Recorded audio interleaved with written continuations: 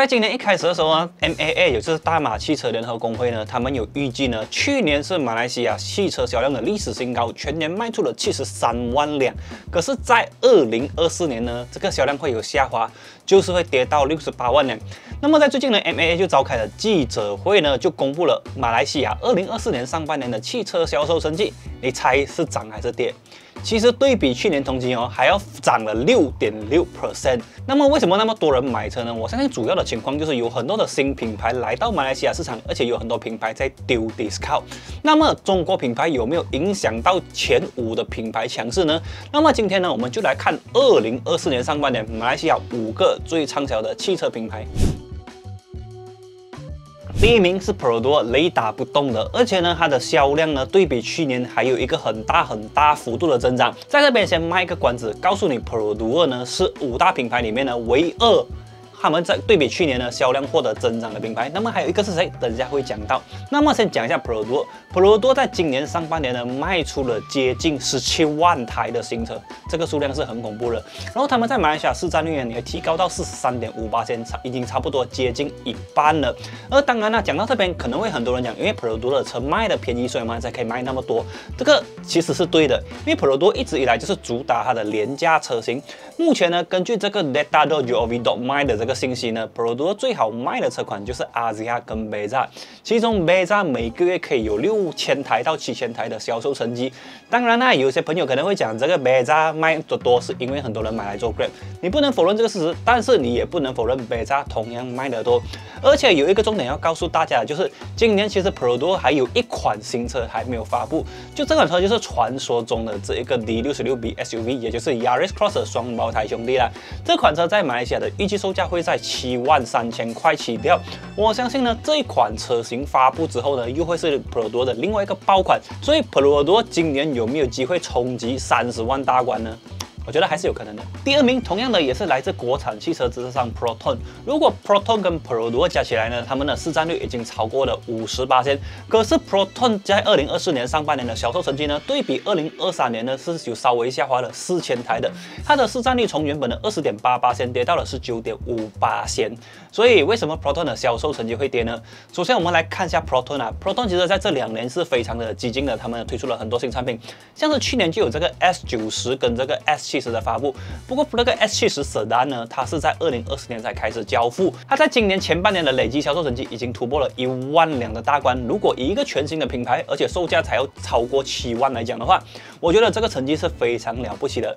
但是呢，这个 Proton S 七十呢，它的这个销售成绩出色呢，却掩盖不了。Proton X 五零跟 Proton X 七零销售成绩的下滑，其中 X 七零是销售下滑最严重的车款。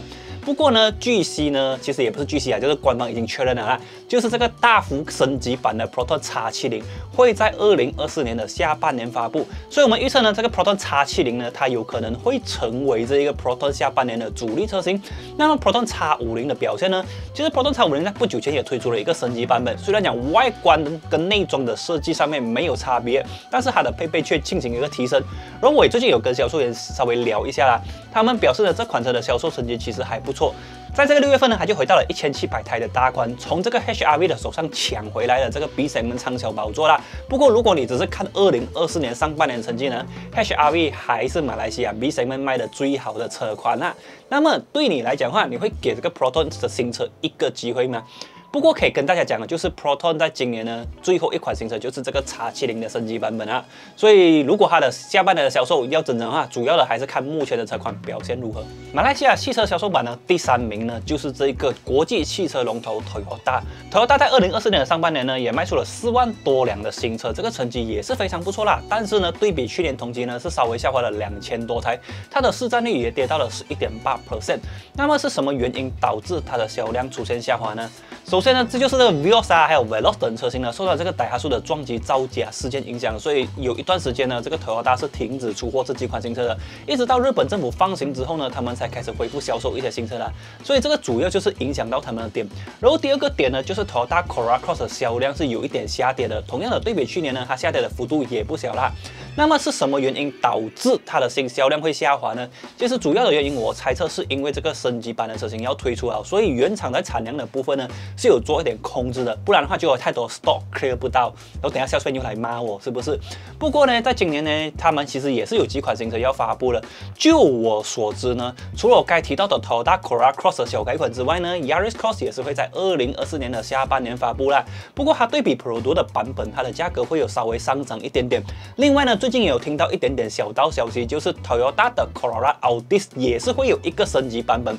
这个升级版本升级什么，我就暂时还不清楚啦。等未来有进一步的消息，我会跟大家提示一下。我刚才有讲到，马来西亚的前五大品牌里面只有两个销量是增长的，一个是 Produce，接下来就是我要讲到的品牌，它就是 Honda。其实 Honda 的销量有增长，是让我有一点惊讶的。因为其实这几年 Honda 是相对安静一点的，在今年的上半年，他们只是有一辆 CD 的 Hatchback 的 Facelift 版本推出市场。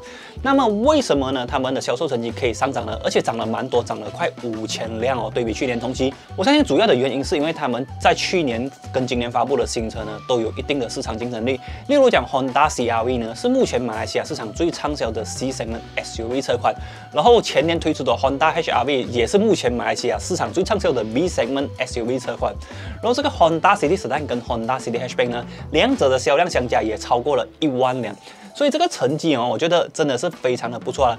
而且重点是我该前面有讲到，对不对？这个 Toyota 的销量是有点下滑的，但是 Honda 有增长，这个就可能预示着呢，Honda 吃掉了 Toyota 的 market share。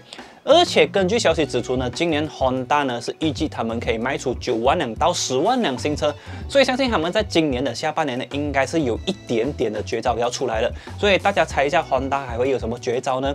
不过也必须称赞的，就是 Honda 的 marketing 还是一如既往的强啊！靠着这一些车款呢，他们还可以获得这个销量增长，我觉得真的是厉害。其实，在马来西亚销量最高的四大品牌里面，他们的市占率加起来差不多就是马来西亚汽车总销量的七十五八了，剩下的一些饼干碎就是让其他的这个厂商去抢啦。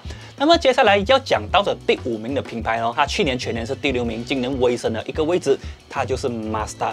Mazda 的销量成功再次反超米苏比西成为第五名，可是对比去年同期呢，它的销量是稍微有一点下滑的。它从原本的九千五百多台跌到了这个八千两百多台啦，差不多跌了有一千两百台左右啦。主要的原因就是因为去年其实这个 CS 的 D 在 CKD 的版本发布之后呢，有非常高的订单，所以原厂在消化这个订单的时候呢，他们的销量也有所上涨。而在今年呢，这个 CS 的 D 的订单其实消化到七七八八了。然后这个 CS 五小改款车型的这个销售实力还没有出来，所以就导致它的销量有所下滑啦。不过同样的，在今年 Mazda 也是还会有一款新车发布，就是这个 CS 六十。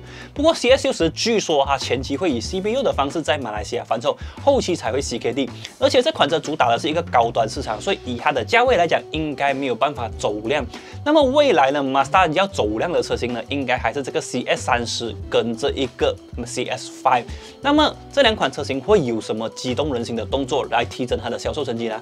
就让我们拭目以待。OK，那么现在就要回到我开头就讲到了这个中国品牌的大举入侵呢，是不是会影响到五大品牌的销售成绩？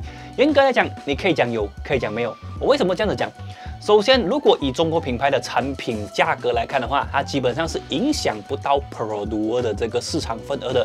那么影响 Proton 是会有的，所以今年 Proton 的市场份额是有稍微下跌的。我相信主要的原因就是因为像是 Omoda、GS3、M 中等等的 B 型 SUV 市场抢掉了这一个 S 五十的市场份额。我为什么这样子讲？因为 S 五十去年它的销量可以维持在三千多到四千多台，但是到今年只有一千四百到一千八百左右，所以这一部分的份额可能就去了 Omoda Five。跟 GS3 那边，那么接下来的三个日本品牌 Honda、Toyota 跟 Mazda 的部分呢，其实他们的市场份额还是差不多。因为虽然讲 Toyota 跟 Mazda 的销量有所下滑，但是呢，这个销量下滑呢是被 Honda 的销量增长所覆盖了。所以这个数据呢就有可能指出是这个 Toyota 跟 Mazda 的潜在消费者跑去了 Honda，就这样而已。所以中国品牌很强，但是暂时还影响不到 Top Five 的地位啦，就是有 Proton 稍微被影响到啦。不过我相信，作为国产品牌的 Proton 呢，他们的市场策略稍微调整一下的话，这个市场份额他们是抢得回来的。而且还有一个重点，我们不要忘记哦，就是今年上半年的汽车销售成绩对比去年是上涨的，所以这些上涨可能就是归功于中国品牌。而且有一个点要告诉大家，就是 Cherry 呢已经挤进了马来西亚十大畅销品牌之一，所以你再给他努力一下，搞不好还有机会挤进前五。OK，那么今天就是我们的影片内容啦。那么在五大品牌里面，今年你们 support 了谁，买了谁的新车，可以在影片的下面留言给我们知道。OK 啊，记得帮我们按赞、订阅、分享一下啊。我们下次节目再见，拜拜。